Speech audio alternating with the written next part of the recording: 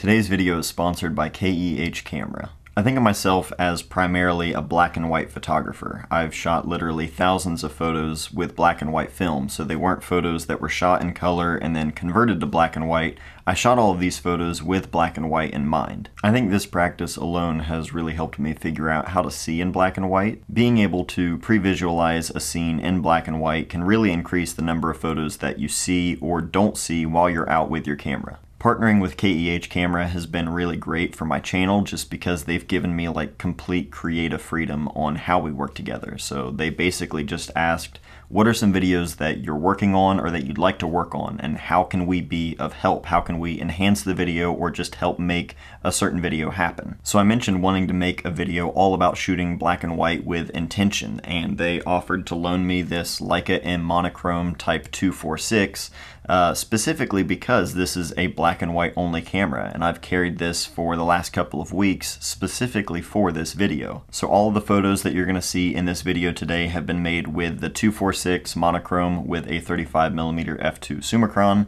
Um, I'm not here to review the camera. We're not going to do that because uh, there's no need. This video is all about the craft of shooting black and white uh, if you want to know a little bit more about the camera itself and what KEH has to offer, stick around to the end of the video, but the focus of this video is not about the camera itself, it's just about seeing in black and white, so let's get right into that. My absolute favorite thing about shooting black and white is how it can just strip everything down to the core of what I look for in photography. The color is not there to distract. And color is an incredibly powerful tool with photography when used intentionally. Uh, I think color can really enhance just the overall mood and feeling of a photo, but it's not always used intentionally, especially for how certain people like to shoot, like myself. This isn't to say that color is inherently bad or distracting, because again, you can use it really well, but for me, how I like to shoot and what I like to shoot, I'm photographing everyday life, and if I'm just walking around with my camera looking for photos, so much of that color is just left to chance. And with as much as I have going on in my life, uh, the last thing I need is something that I have little control of. You know, I have a five-year-old and a three-year-old, so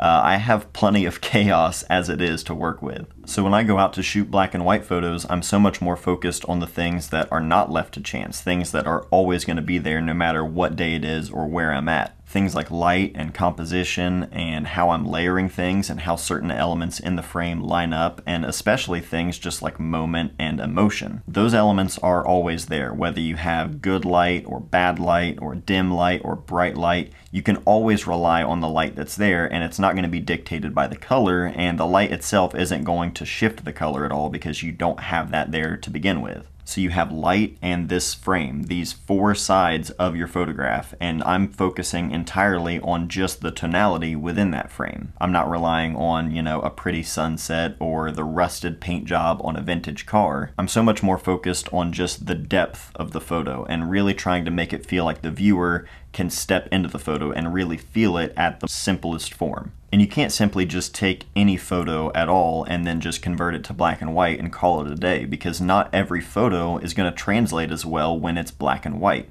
Without that color to clearly define and separate things in the photo, you really have to be conscious of how you're layering things and what's behind your subject or a specific part of the frame. If you lose that definition, things can get messy really, really quickly. Working with negative space and placing a certain subject or a certain part of the element, you know, in front of that negative space so it stands out more, that's going to make a world of difference in how the viewer actually sees the photo and what they can actually pull from the photo because things can get lost so easily. One thing I really like to do when composing and thinking about black and white while I'm doing that is just thinking about adding as much contrast as I possibly can. Like if I'm looking at the file, whether it be a film scan or a digital file, pulling that into Lightroom and just dragging that contrast slider all the way up to 100 pushing it far past what I would ever do in a final image that I would print or share, but doing that really simplifies the overall composition and it really kind of makes things clear as to what is going to stand out. And more importantly, what's going to be lost in the photo as a result of that. Is my subject or a key part of that photo going to be completely lost? If so, then I'm going to need to recompose and layer things better so that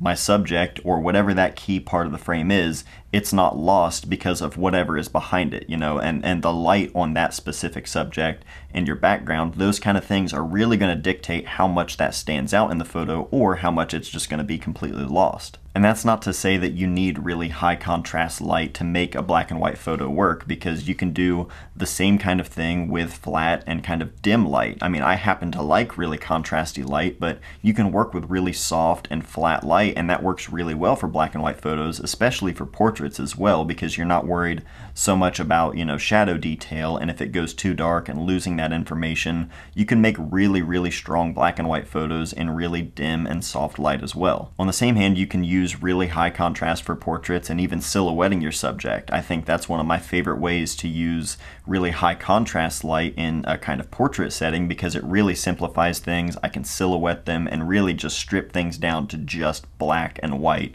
Uh, it's one of my favorite things to do when I'm shooting those kind of portraits. There are so many different ways to photograph intentionally with black and white in mind, but I think that in itself is the key. You have to be intentional knowing what the final image is going to look like before you actually make it. You can't just rely on the edit because I think so much of it really does come down to the composition and that's going to happen with the camera in your hand, not in post. And if you're using a camera like the Monochrom or you're shooting black and white film, you really have to be intentional because there's no other way around it. You're working with that black and white frame and that's it. I hope this was helpful and kind of got you thinking about shooting black and white and how you approach it. It's obviously something very near and dear to my heart considering I mostly do shoot black and white. So I'm excited to hear what you guys think about this and any of your own approaches that you might have in the comments down below. Huge thank you to KEH Camera for loaning me the Monochrom Type 246. Uh, it's been a lot of fun to shoot with this camera. This is actually the first time I've ever used any of Leica's M Monochrom cameras, but